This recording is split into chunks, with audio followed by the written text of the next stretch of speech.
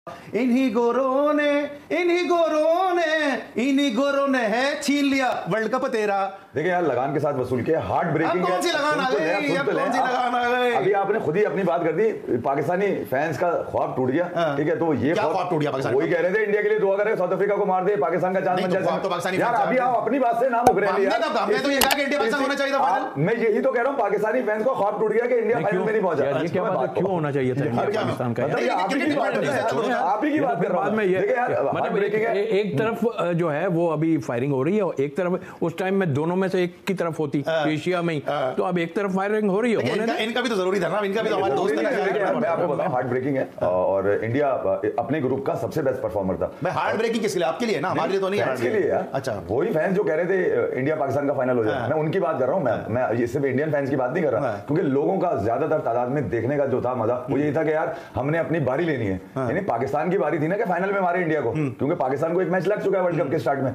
तो बैटिंग बुरी थी इंडिया की। बॉलिंग वैसे ही उनकी कमज़ोर हाँ। थी बॉलिंग पे कभी मैंने उनको रेट नहीं किया कि बॉलिंग अच्छी नहीं थी। हाँ तौसीफ भाई ने कल जो मैंने उनको कहा था कि अश्विन की जगह चहल को रखना चाहिए। शायद कुछ चीज़ें जो थी वो। यकीनन बड़ी सिलेक्टिव रही है। सिलेक्टिव जो जो जो चीज़ें पाकिस्तान क्रिकेट के अंदर देखते हैं ना कि मेरिट को जो है ना वो बिठा के रखते हैं और टैलेंट को खिला के रखते हैं। जो मेरिट पे था वो बच्चा बैठा रह गया। चहल ये 2021 में भी यही किया। आप मिस्ट्री निकाल के ले आए थे यही आपने 2019 में किया। विजय शंकर उठा के ले आए थे। तो जहाँ जहाँ आप सिलेक्टिव चीज़ें करेंगे वहाँ वहाँ वो टीम को नुकसान देगी। आज एज अ टीम अगर देखा जाए जरा डिटेल में इसको मैं डिस्कस करूँगा चहल चहल एक आउट हो जाता है दो हो जाते। इससे ज़्यादा क्या आज भाई पूरी तैयारी से आएगा तौसीफ भाई ने मुसलसल बराबर वाली अच्छा, कुर्सी में भुगता आपको। मैं ये कह रहा हूँ, पूरा टूर्नामेंट भुगता है कुर्सी पे मुझे उस दिन कह रहे थे मेरा ये वाला कान खराब हो गया। अब आप जीत पे बात करेंगे इंटेंट पे ये तो मुझे नहीं पता ठीक है? इंटेंट मैं तो सिर्फ़ आप पे ही बात करूँगा ना, जीत हो या ना है, मैं- आपको इंटेंट नज़र आई ना मैं वो बटलर और इसमें नज़र आई। मैं आ रहा हूँ, हूँ, तो भाई 16 ओवर में किया उन्होंने आपने 152 19 अशारिया तीन बॉलों पे वो भी शान के सदके में आए वो भी। चले चले बात करेंगे कि जो 16 ओवर में हुए या 19 ओवर में हुआ लेकिन ये बात अजर मिनल शम्स है कि हम फाइनल में पहुँच चुके हैं। अब जो जिसको जितना चाहे शोर मचा ले जिसका जितना चाहे अली एक बात सच बताएँ कि आप बुरी बैटिंग करके आए भाई जो भी कुछ है हम फाइनल खेलेंगे। उस दिन है। जिस दिन तौसीफ भाई ने सिंगल लिया था ना उस दिन हाँ। भी हम आखिर में जाके शारजा में जीते थे। और वहीं से फिर आज तक उस जीत को हम याद रखे हैं। नेहरू कप में भी हम आखिर में जाके वसीम अकरम के छक्के से जीते थे। आज तक हम उस जीत को भी याद रखें। अली तो जीत जीत होती इस बात पे मैं इनकी एग्री कर रहा हूँ। हमदर्दी करते हैं, हमदर्दी कर, अपने दोस्त हैं। बुरी क्रिकेट खेली है हमने अच्छी क्रिकेट नहीं खेली।